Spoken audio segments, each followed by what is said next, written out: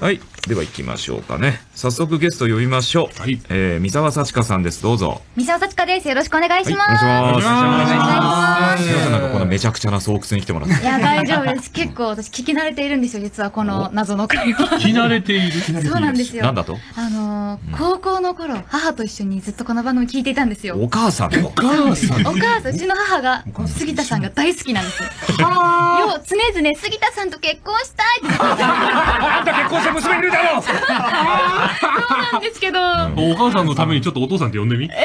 お父さん？笑いが、笑いが、笑いしか返せない姿初めて見た。初めて見た。娘か。娘そうだよな。すげえよ、すげえよ。同業生の親世代が杉田さんのファンですよ。ああ。お母さんの年齢聞きたくないわ。本当に。面白いよね。うん高校生の頃40やめなさい、それ以上。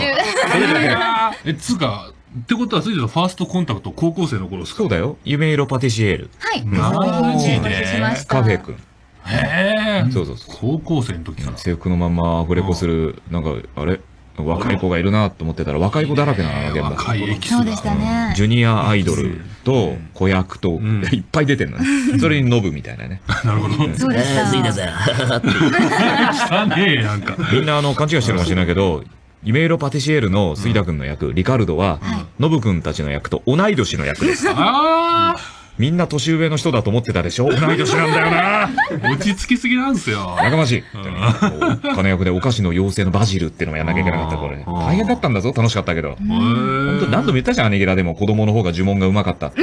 何度も話聞きましたけど、現場、杉田さんは優しかった？優しかったです。ええ、優しくしてた。もう私はもうアフレコ自体に結構緊張していたので、もう皆さん、あ、雑誌で見たことある人だっていう感じで、もう本当こうしプロになろうと頑張っているところだったんですけれども、え、えお母さんが好きな人だって思ってた？そう思ってました。わかんないしね、言わなかったんですよ。嫌われたくないから、こいつキモいなって思う、ファンかよって思われたくないから、あの時は言えなかったんですけど。思わないもん。杉田さん思わない、そういうの。もうんなるほどな、そういう年代の人が出てきたかと思って。面白いな俺でその後、悪魔のリドルで、あ久しぶりに会って、はい、生為ちたる役であれなんか、生徒をやあっていてあの高校生だった子急に大人になってんだけど、その成長早いって言って。そこから結構数年経ってるんですよね。そう。で、大学で友達がいないって話ずっとしてた。そうしてました。してました、してましたぼ。っちだった。ぼっちでしたけど、うんま、頑張って1年留年しましたけど、ちゃんと大学卒業しまああ、しそうだよ立派立派。て。しました。よくやったはいありがとうございます。今ではね、上坂さんとかほら、仲良しも見つかってね。そうですね。よかったよかっよかった。え、友達は作るの苦手なタイプだった？だいぶ苦手です。だいぶ